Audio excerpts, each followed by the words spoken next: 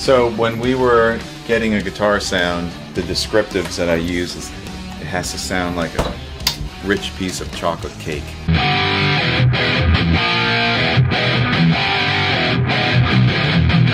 Multi-layered, rich, satisfying, with a lot of body and depth, but just the right amount of icing on top.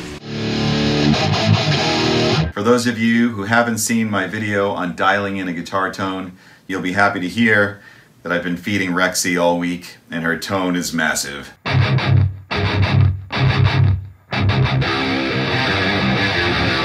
And so far the walls are still standing.